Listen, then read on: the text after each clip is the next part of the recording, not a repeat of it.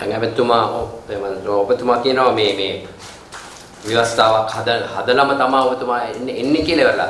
දැන් පිටු 233ක ජාතික ජන බලවේගයේ එකක් ඉදිරිපත් කරලා තියෙනවානේ. ඒකෙත් ඔය යම් යම් දේවල් සඳහන් කරලා තියෙනවානේ.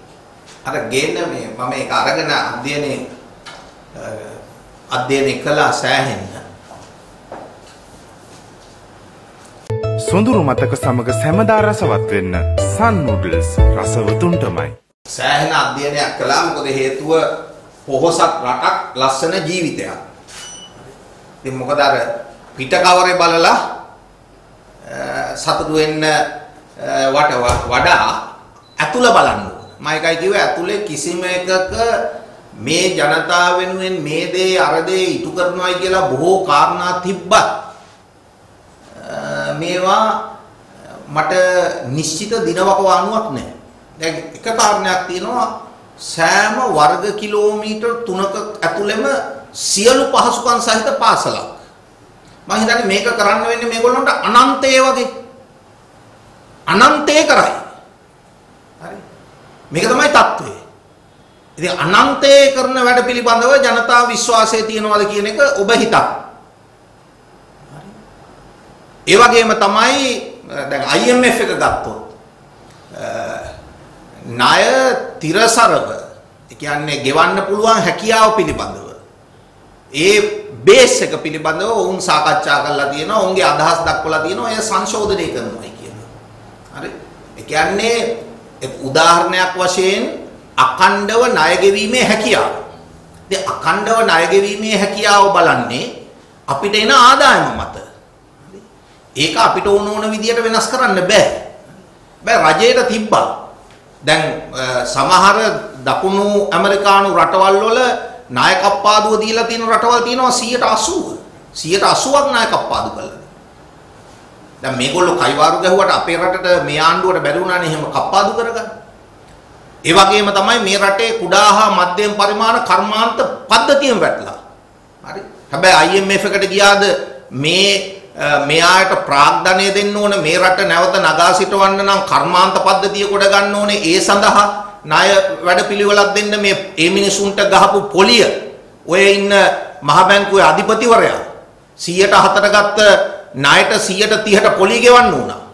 ඒ මිනිසුන්ට දරා ගන්න බෑ මේ මේ ව්‍යාපාර වැහිලා. එහෙමනම් කියන්න තිබ්බනේ මේ තිරසරව ණය ගෙවන්න අපිට අවශ්‍ය පහසුකමක් මේ ණය ටික ගෙවා ගන්න කුඩා හා මධ්‍යම පරිමාණයේ ව්‍යාපාර වලට ණයක් දෙන්න ඕන.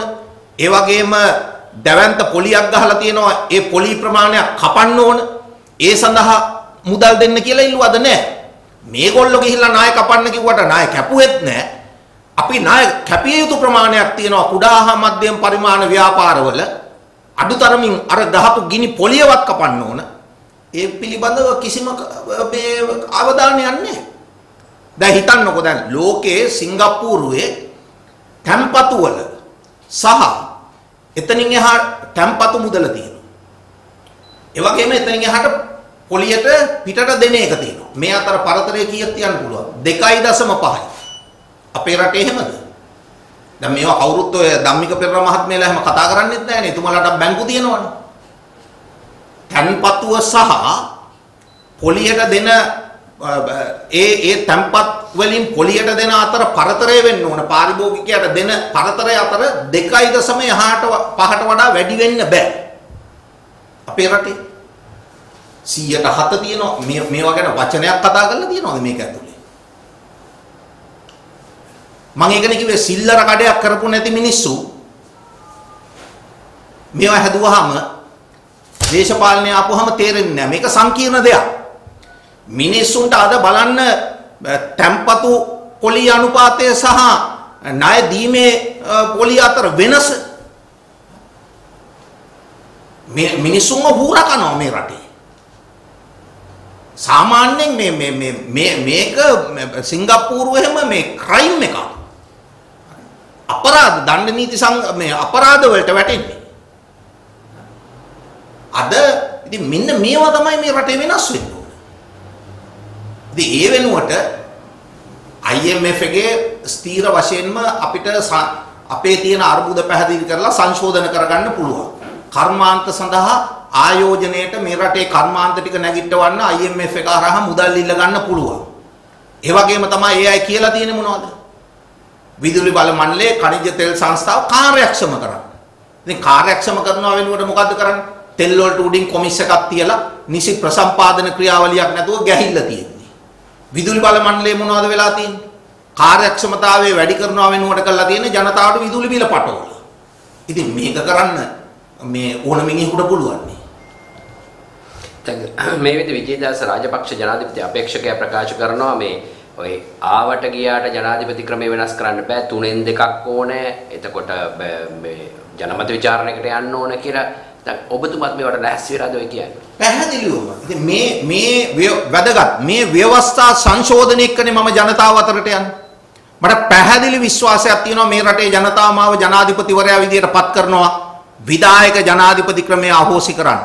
මැතිවරණ දෙකට අඩු කරන්න. මේ රටේ හොරු බෝ කරපු මනාප ඡන්ද ක්‍රමය අයින් කරන්න. ඉතින් ජනතාව ඡන්දෙ දෙන්නේ ඒකට නම් පාර්ලිමේන්තුව බැඳිලා ඉන්නවා තුනෙන් දෙක මේකට දෙන්න. මම ජනාධිපතිවරයා විදියට පත් වෙච්ච ගමන් දැන් කෙටුම්පත හදලා ඉවරයි. තියෙන්නේ පාර්ලිමේන්තුවට ගෙනියන්න. පාර්ලිමේන්තුවට ගෙනිච්චාම තුනෙන් දෙක දිය යුතු වෙනවා මේ ඉන්න කණ්ඩායම. ඔබතුමාලාට මතක ඇතිනේ. සිරිසේන මහත්තයාට තුනෙන් දෙක දුන්නේ රනිල් මහත්තයාට බලය ගන්න 2015. ඉතින් තුනෙන් දෙක ගන්න එක ප්‍රශ්නයක් නෙමෙයි.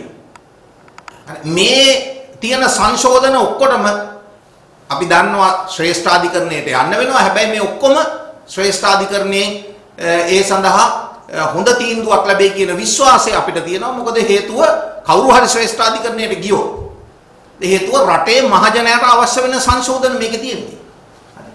එහෙමනම් තුනෙන් දෙක විතරයි අවශ්‍ය.